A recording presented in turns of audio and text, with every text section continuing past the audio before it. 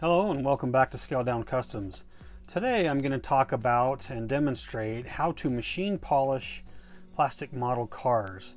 Um, my absolute least favorite part of building model cars is polishing. I, I just hate it. It takes so long doing it by hand. And the whole time I'm doing it, I'm thinking there's got to be a better way. Since I was 16 years old, I've been detailing my own one-to-one -one cars, and I have a fabulous random orbital machine polisher that works amazingly. And I just keep thinking to myself, how can I incorporate machine polishing into the 124, 125th scale world?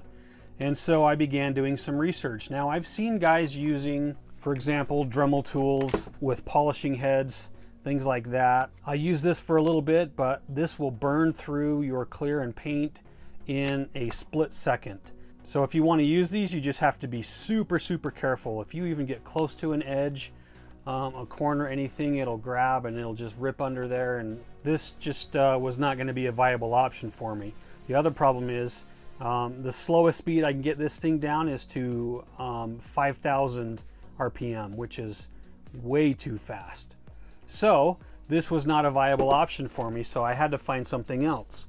So I began looking around and online I found some one inch polishing sponges. And I thought these are going to be perfect, and they are. I bought these on Amazon. They came in three bags, and it's got the coarse, medium, and fine sponges. Um, I don't have links to these because they change all the time, and so the links are only good for a little while. Anyway, so you can just do a search these are one inch or 25 millimeter buffing or polishing sponges. So just do a search for one inch polishing sponges and something like this should come up. One of the other nice features that came with these bags of sponges was this hook and loop pad to hook the pads to. And now I've got a way to polish, almost. It came with a thread head and I didn't have a way to drive this. So I began looking for some sort of a mandrel or something to hook up to my Dremel. Uh, but again, it was way too fast. Even on those lowest setting, it's just flipping product everywhere, which obviously, which means I probably have too much. Even just a little bit of product, it would just flip it all over my workstation. Uh, so again, I needed to find something else to, to drive this now that I have the size of polishing sponges that I wanted. So back to the drawing board, I began doing some more research. I couldn't find anything. So in doing some more research, I found a mandrel, which is a 1 8 inch mandrel um, that would drive that, that I could hook up to my driving pad now and have a way to hook this up to something, but I couldn't find this anywhere. So the only place I could find it was by ordering a 2 inch polishing driving pad because this mandrel came with this pad and this bag of polishing pads, cloths, hook and loop again. So I don't use these. Again, I had to buy this oh, so that I could get my eighth inch mandrel. And then I needed to find a way to drive this. I was using my cordless drill for a while, which was working great because I could control the speed. Um, but my batteries kept dying, and so I needed to find another option for that. I wanted something that was corded that would plug in so I wouldn't be running out of batteries and constantly having to change out my batteries and wait for them to charge. So I once again went back and started doing some research, and I found this, which is way heavy duty. I know that but it's basically it's a close quarters drill that's plugged in. So I can plug this in, I can plug, I can screw my mandrel into here, and this is now my setup for polishing.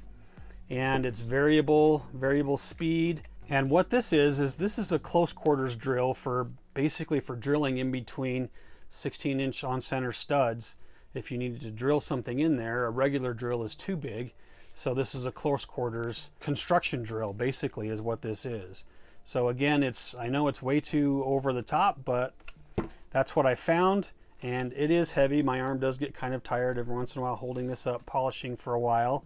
But it works. So this is now my machine polishing setup for plastic model cars, and I've been having great success with this setup. So I'm gonna wet sand some of this down a little bit, and then I will show you guys how actually this works. Um, you can use any kind of a polishing product that you want. Tamiya polishing pastes, automotive grade, Formula One scratch out. I've used this a little bit. Um, I find I use these probably the most.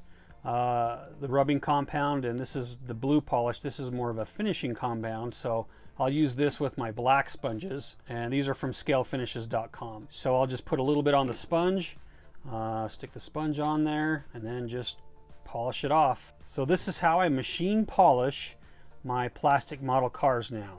So I'll get some of that wet sanded down and then I'll show you how that works.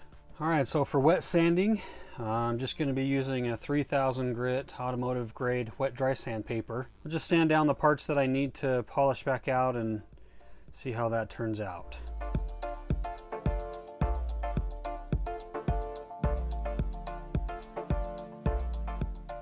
Got the body sanded down, just the parts that I wanted to.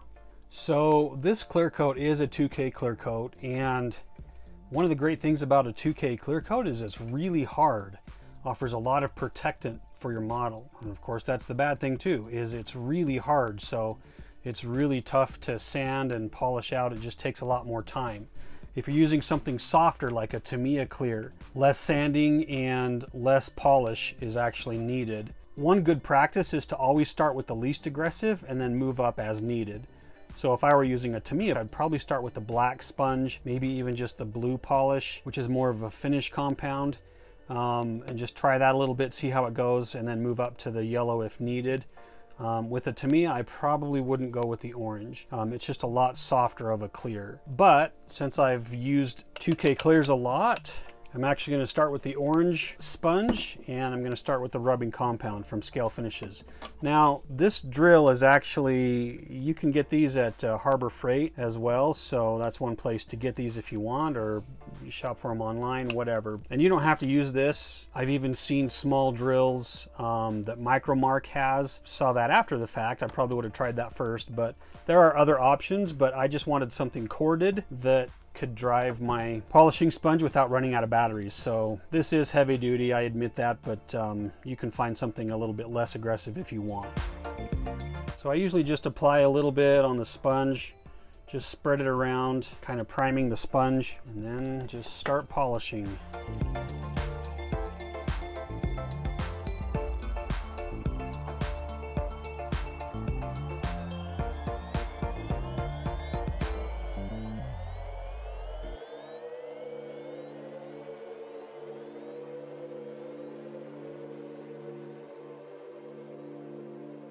And then to wipe it off, you can just use any microfiber cloth or soft cloth that you want. I prefer microfiber over like a cotton base or something like that.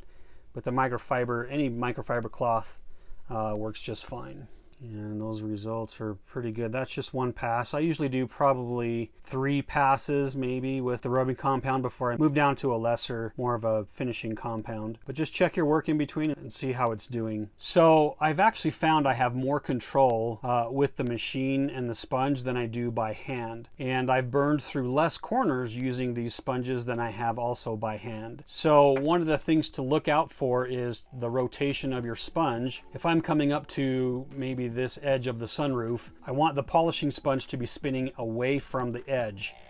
So in this instance, it would be clockwise. That way it can brush over the edge without catching and coming back. So if I were coming in more like this, where the edge is coming in again clockwise, but now my pressure is at a different angle where the sponge is actually going to be digging in more into the edge. I want the sponge to be more going off the edge more than coming into the edge. Um, it just helps for burning through edges a little bit more. So, for example, if I were coming up to this edge, I would angle, because it's going clockwise, I would angle my sponge so that it's spinning more off of the edge rather than angling it in where it's spinning onto the edge and it will catch more. So just something to think about as you're polishing out. Now as you're going through and polishing, you will get some uh, material in the seams and panel lines and stuff like that. I just keep a bucket of water next to me and a little kind of a medium stiffer bristle brush and just kind of work through in those seams and door panels and panel lines uh, just to get that out of there and it will come out. You just kind of brush it and it'll just come right out. If you do let it dry in there it'll take a little bit longer but it will still come out if you just kind of work it with the brush and some water. Um, it'll come right out of those grooves so don't worry about that too much. So I'm going to go ahead and get the rest of this cleaned up uh, polished out but uh, that's my that's been my experience with machine polishing and how to get that to work for scale model cars so if you have any other questions, let me know. Be happy to try to answer as many questions as I can. But uh, hope that was helpful. Hope you guys enjoy that. Thanks for watching, and we'll see you on the next one.